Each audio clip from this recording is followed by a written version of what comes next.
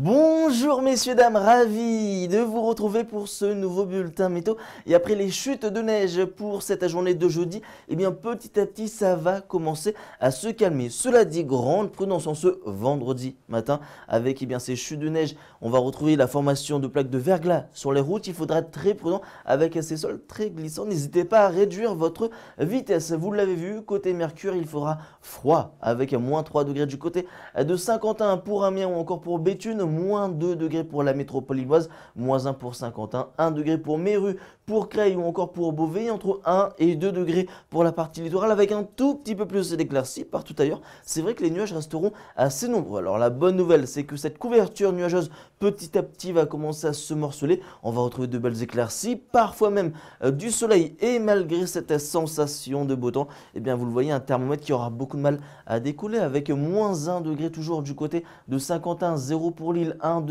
pour Amiens, euh, pour Albert ou encore pour Noyon, idem pour Soissons, comptez 2 degrés euh, pour Beauvais ou encore du côté de Senlis et 3 degrés pour Aville ou encore du côté de Boulogne-sur-Mer. Pour la journée de samedi, c'est une autre perturbation qui va venir nous aborder. Elle va amener, et eh bien encore, vous le voyez, pas mal de nuages, des précipitations sous forme de pluie, voire même pluie et neige mêlées, parfois même quelques flocons, et oui, un temps bien hivernal, des températures qui seront comprises entre 0 et 2 degrés. On sera largement en dessous des normales de saison. Il faut savoir que normalement, à cette même époque de l'année, les températures pour la métropole illoise, par exemple, c'est aux alentours des 6-7 degrés en maximal. Pour la journée de dimanche, eh bien, ça va commencer à s'améliorer avec davantage d'éclaircies et des températures qui vont commencer à grimper de nouveau une excellente journée avec Avia Télé et en ce 15 janvier, eh on gagne quelques minutes de soleil.